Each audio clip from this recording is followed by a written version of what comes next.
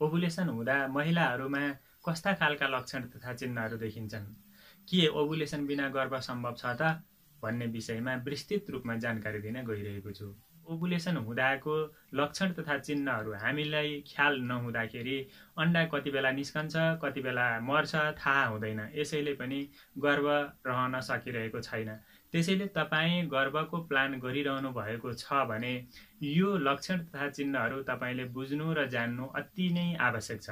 त्यसैले यो लक्षण तथा चिन्हहरू के के हुन्छन् भन्ने सन्दर्भमा सबैभन्दा पहिला बेसल बडी टेम्परेचरकै कुरा आउँछ।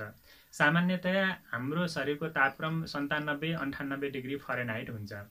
यो सन्तानब्बे अन्ठानब्बे डिग्री फरेनहाइट भएको बेलामा हाम्रो बेसल बडी टेम्परेचर भन्नाले राति सुतेर बिहान उठ्नुभन्दा अगाडि तपाईँ सुतिरहेकै अवस्थामा यो शरीरको तापक्रम लिनुपर्ने हुन्छ।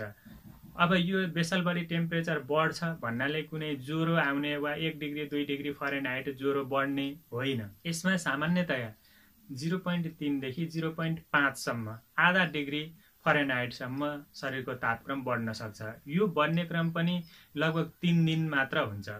तपाईँको ओभुलेसन हुनुभन्दा अघिल्लो दिनदेखि ओभुलेसन भएको भोलिपल्टसम्म यो शरीरको तापक्रम जिरो पोइन्ट फाइभ आधा डिग्रीसम्म बढेर बस्न सक्छ। त्यस पछाडि फेरि यो घट्छ किनभने यति बेला प्रोजेस्टोरोन हर्मोनको उत्पादन भएको हुन्छ र प्रोजेस्टोरोन हर्मोनको कारणले गर्दाखेरि शरीरको तापक्रम बढ्ने हो। त्यसैले तपाईँले आफ्नो शरीरको तापक्रम कति छ भनेर थाहा पाउनको लागि महिनावारी भएको दिनबाट गनेर दस दिन पछिदेखि बिसौँ दिनसम्म नियमित शरीरको तापक्रम खाटबाट उठ्नुभन्दा अगाडि नै लिनुपर्छ। यसको लागि तपाईँले थर्मोमिटर आफ्नो सिरानी मुनि वा आफूले भेट्ने ठाउँमा थर्मोमिटर तपाईँले राख्नुपर्छ र एउटा नोट गर्नको लागि कापी पनि राख्नुपर्छ। किनभने यो सामान्य थोर थोरै परिवर्तन भइरहने टेम्परेचर भएको हुनाले तपाईँले बिर्सन सक्नुहुन्छ। प्रत्येक दिनको शरीरको तापक्रम नोट गर्नुभयो भने अर्को पटक तपाईँलाई ओभुलेसन हुने समय थाहा पाउनको लागि गाह्रो पर्दैन। यसरी तपाईँले बेसल बडी टेम्परेचर लिएर शरीरको तापक्रमबाट ओभुलेसन भएको समय थाहा पाउन सक्नुहुन्छ। यो हेल्थ टिप्स तपाईँ हेर्दै हुनुहुन्छ र सब्सक्राइब गर्नुभएको छ भने तपाईँलाई विशेष धन्यवाद। यदि सब्सक्राइब गर्नुभएको छैन भने तल रहेको रातो सब्सक्राइब बटनमा एकपटक क्लिक गर्नुहोस् र नजिकै रहेको बेल आइकनमा क्लिक गरी अलमा क्लिक गर्न पनि नबिर्सनु होला किनभने नयाँ हेल्थ टिप्स आउने बित्तिकै सबैभन्दा पहिला तपाईँले हेर्न पाउनुहुनेछ। अर्को हुन्छ सर्भाइकल म्युकोजा। सर्भाइकल म्युकोजा भनेको भेजाइनाबाट उत्पादन हुने रस हो। यो रस तपाईँको एकदम वृद्धि भएर आउँछ। जब ओभुलेसनको समय हुन्छ त्यति बेला धेरै मात्रामा उत्पादन हुन्छ र सुरु सुरुमा यो पानी जस्तै हुन्छ वा एक दुई दिनमा यो यसमा फरकपना आउँछ र यो केही बाक्लो हुँदै पहेँलो खालको केही बाक्लो हुँदै अन्डाको भित्री भाग जस्तो सेतो भित्री भाग जस्तो सेलल्ल तन्कने खालको र त हातमा लिएर तन्काउँदा कम्तीमा एक सेन्टिमिटर जति तन्कने खालको यस्तो खालको भएर सर्भाइकल म्युकोजा आउँछ। यो कुरा पनि तपाईँले ख्याल गर्नुहोला।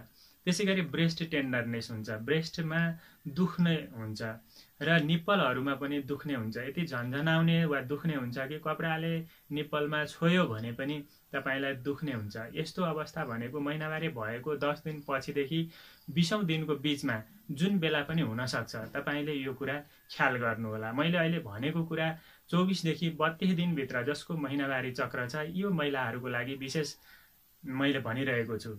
त्यसै गरी पेटमा दुखाइ हुन्छ। तल्लो पेटको दायाँ वा बायाँ कुनै पनि भागमा दुख्न सक्छ।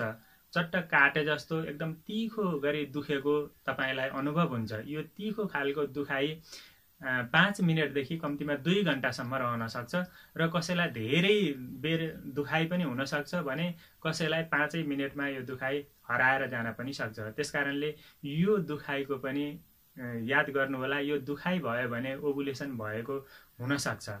त्यसै गरी अर्को छ तपाईँको मोडमा पनि परिवर्तन आउँछ।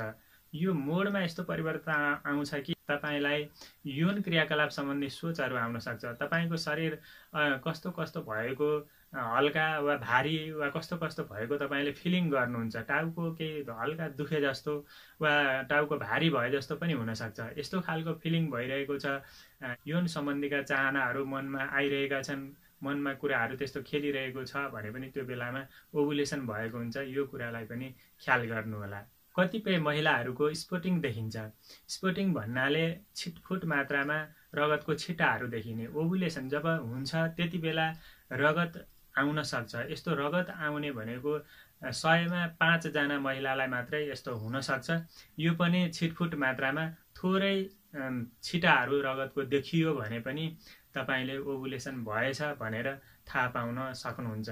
यो कुराहरू महिनावारी भएको दस दिन पछिदेखि बिसौँ दिनभित्र यदि तपाईँलाई भइरहेको छ भने यो तपाईँको ओभुलेसनको सङ्केत हो। यो बेलामा तपाईँले यौन सम्पर्क राख्नुभयो भने गर्भ रहने सम्भावना धेरै रहन्छ।